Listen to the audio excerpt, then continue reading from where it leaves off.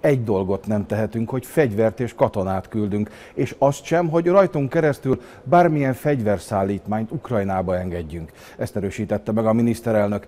Ez ugyanis célponttá tenné hazánkat. Több szakértő is figyelmeztetett, a lakosságnak történő fegyverosztás borzalmas következményekkel járhat. Zelenszky elnök már az orosz invázió második napján felszólította az embereket, hogy vegyenek fel fegyvert, majd külföldi harcosokat hívott be, akiknek szintén fegyvert adna. Képzeljük el, hogy a felhívásra milyen gyorsan reagált a híresen barátságos ukrán alvilág, amely ingyen jut támadó fegyverekhez. Ugyanígy az Ukrajnában nem ritkán előforduló nacionalista milíciák is mentek fegyverért. A háború után vajon ugyanígy sorba állnak majd leadni azokat? Vagy inkább a káoszban saját kis hatalmi harcukat is megvívják ezekkel? Uram, bocsán, már nem csak falakra írt fenyegetésekkel vagy molotov koktélokkal támadják a kárpátaljai magyarokat.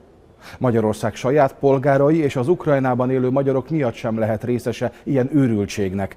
Az pedig égbe kiáltó ostobaság, hogy a magyar baloldal azt követeli, hogy a kormány tegye hazánkat és a kárpátaljai magyarokat katonai célponttá az orosz-ukrán háborúban. Hazánk mindent elkövet, hogy segítsen az ukrajnai menekülteknek, és még nagyobb erőfeszítéseket tesz, hogy a kárpátaljai magyarságot a lehető legnagyobb biztonságban tudja.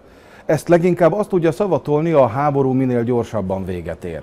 Ez ellen dolgozik azonban szinte a teljes nyugat, amelyik fegyvereket szállít Ukrajnába. Szerintük ezzel az ukránok harcát segítik, pedig rövid, de hosszú távon még inkább csak rontanak a helyzeten. A magyar baloldal is folyamatosan a háború minél további elhúzódása mellett áll ki azzal, hogy fegyvereket küldenének Ukrajnába.